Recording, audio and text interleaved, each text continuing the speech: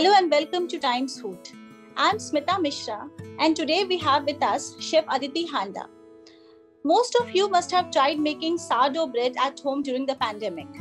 Aditi Handa is the person who is given the credit of popularizing this bread variety in India and making it available all across the country. A very warm welcome to you, Aditi. So, how has the pandemic been treating you? The pandemic uh, has been surprisingly quite uh, kind on us, um, where obviously life got difficult for everyone. Life was quite difficult for us to work on too. But uh, I think during the pandemic, what all essential services have experienced has uh, been an increase in demand. And we at the Bakers Dozen had a similar thing where we saw a big influx in demand of uh, not only essential services, but they also wanted people wanted healthy products, hygienic products. Um, and I think that advantage of us uh, making bread and cakes in a hygienic facility, always keeping health as the first parameter right from in the, in the past eight years of us being around, has uh, helped us uh, get more customers because we're all in a similar philosophy now. So 2021 was the year of uh, sourdough bread. You know, it all started in 2020 and then it spilled over to 2021. And almost everyone, I think all of us tried making it at home. Why do you think that it suddenly became so popular? I don't think I'll ever really have the answer to that, but uh, my rationale behind that is um, I think bread baking is a very therapeutic uh, activity to do uh, some people do it for their passion, some people do it to, uh, as a stress buster. But I felt uh, last year uh, when the first lockdown was announced, when really you know people started baking a lot at home, they had more free time. They were extremely stressed about this this novel situation around us. So I think a lot of people started baking bread as a stress buster. I also think another avenue, another reason could be that people wanted to eat healthier, right? People wanted to be stronger, wanted to have better food and what better than to be able to bake your own bread or bake bread in the authentic way it's meant to happen so i think these are the kind of reasons i think so but i still think it's a huge unexplained phenomena and i will never really know what happened just like dalgona coffee in 2020 it was yeah. i think yeah so you know a lot is being uh, uh, written about and uh, told about uh, the industrial bread that most of us eat so, uh, what what do you think is actually against that variety of bread, and why do you think it is not good for us? Uh, so I always believe that whatever food one consumes, whether it's a bread, a cake, or a vegetable or a fruit, uh, it's extremely important that it is it's fresh, it's seasonal, it's regional, and more importantly, it's made using the authentic techniques. I always say if you follow a recipe of, let's say, even making saag, because you know it's winter, it's the season of saag. If you make saag in the right season and with the recipe your grandmother or your mother or your great grandmother gave you, the taste and health will always be a tick mark. And uh, when I learned how to bake bread in uh, 2012, one of the things I learned was let's make bread the authentic way. And this is not uh, really our culture in a way. The bread is not something that was born in india but obviously india consumes a huge amount of bread. So it's very important to realize uh, european techniques of making bread and respecting those in making bread like that today. And i feel anyone who's doing that has a good product out there. It doesn't have to just be bakers. Doesn't anyone who's following the authentic ways of making bread is giving a good product out there. And anyone who's not is probably compromising on how on the goodness of bread that exists and they're kind of missing out on that uh, bandwagon. Bakers dozen uh, is the first artisanal bread brand of india. So can you decode artisanal for our readers what is it exactly? What kind of breads are these so artisanal, the word actually means handmade. It means nothing beyond handmade. Uh, that a lot of times people start thinking artisanal is gourmet, artisanal is fancy. No, it really is handmade. You know, the dal you make at home in the evening for your kids is artisanal. It's really as simple as that. Now, um, if you look at any art form, uh, artisanal handmade is very difficult to get. It's usually in a very very uh, small quantity and hence not very scalable. You look at uh, handmade paintings, you look at, handmade embroidery or a handmade bread. And where at the Bakers Dozen we've been, uh, we feel we've been able to kind of uh, bridge this gap is where we make a handmade product, but because of our uh, process technology because of our packaging technology we can take a handmade product at a national scale.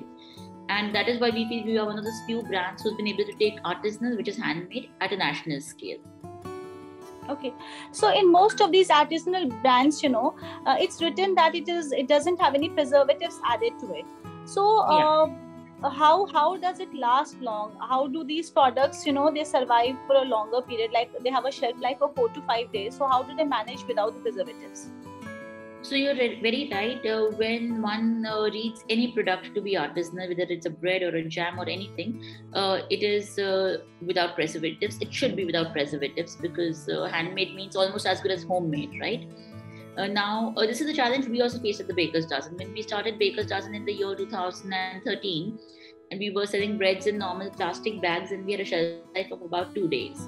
And we had to, uh, we wanted to go national with a product uh, as good as ours, and we believed that everyone in India should have the opportunity of eating good bread. But how do you go uh, pan India without shelf life? and we were very clear we didn't want to add any preservatives to it because it would just have kind of gone against the point we were trying to make the packaging technology that we adopted is uh, what helped us get there it's a very innovative pack where uh, the plastic of a uh, of our pack is a barrier proof uh, plastic which means the rate of penetration of oxygen is extremely low uh, what it also means is that when we pack this product, there is no oxygen inside. So we first vacuum pack it and then we flush it with inert gases and there is no oxygen inside, which naturally helps us uh, extend our shelf life to about seven days for bread, about 25 to 30 days for cakes, and about a few months for our crackers and our cookies. So, our packaging technology is the reason why we've been able to uh, bridge this gap. Okay. So, uh, have uh, uh, learned bread making from New York, and uh, you have been a pastry chef trained uh, in Paris so you did you always want to become a baker uh, from when where did this passion come from um, I don't know if I always wanted to be a baker. I don't think so because I studied uh, psychology and human resource uh, as part of my college education. Food is something that always interested me. I don't really know. I mean, it was something I used to like doing at home. I would. Uh, I was uh, interning with a chef in Canada at one point, uh, who was teaching me how to make Lebanese food but uh, when me and my husband, who's also my co-founder, de- decided that let's start a bakery, we felt very strongly that one of us needs to be trained in the art of it. Instead of just hiring people, we wanted uh, that one of us should have the in-depth technical know-how. And uh, I went to New York to the French Culinary Institute to learn how to do bread baking. And um, it was really with the intention that you know, thoda bahut seekh kar aa that kind but my chefs were fabulous. These were extremely well trained chefs, very passionate. And I remember on my fifth day when I was baking a French sourdough and when I was shaping it, uh, in that moment I realized that the whole purpose of me on this planet is to bake. That's the re- that's the purpose of my life. And I think when anyone experiences uh, an enlightenment like that, uh, it's a game changer for your life. So to me, uh, that was the stepping stone saying, okay, I'm going to bake for the rest of my life. And that's how the Baker's Dozen was born. Wow, that's quite a journey. Uh, so, you know, our readers have always wanted to know that how to bake a perfect bread at home, you know. So, do you have any tips that you would like to share with them? Um, bread baking is an extremely slow process. If you want to bake a, a good loaf of bread at home, you should be able to give at least five to six hours dedicated to it you don't need the entire five to six hours you will go back and forth but you should be around your bread for those five to six hours whichever recipe you pick up uh, stick to the recipe that's been given to you. Do not uh, change any grammage do not change any weights or ratios. And uh, follow each and every step carefully. Uh, i don't think every recipe out there works but uh, try a few from different chefs uh, some indian some non-indian and identify the one that works for you when you followed all the steps accurately. And whichever worked for you, just do more of that until you learn to better your product. Okay. So, my uh, last question to you is uh, uh, what lies ahead? What are the future plans? The future has been quite interesting and uh, very dynamic, to be honest. Uh, we had a very different uh, vision about two years ago for the Baker's Dozen the way we look at Baker's Dozen now is uh, we are present currently in about 10 cities. Um, we are present in uh, Ahmedabad, ba- uh, Baroda, Surat, Bombay, Pune, Bangalore, Hyderabad, Chennai, Delhi. When I say Delhi, I mean all of NCR. We will probably expand our reach uh, to another uh, 10 odd cities in the next month, month and a half with our range of cakes and cookies. And uh, we see Baker's Dozen becoming a very national, large D2C brand in the next year, year and a half. About two years ago, we had uh, three of our own stores pan India. We are currently at about 50 of our own stores pan India, and we want this figure to come to about 100, 120 in the next uh, eight to nine months.